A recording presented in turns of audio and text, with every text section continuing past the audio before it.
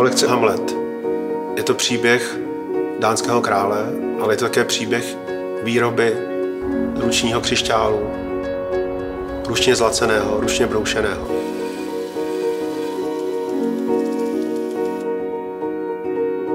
Pravé zlato, nádherný detail špuntu, královská koruna.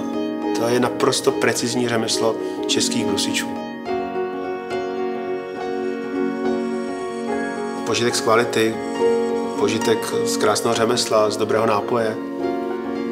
O tom je značka Riko.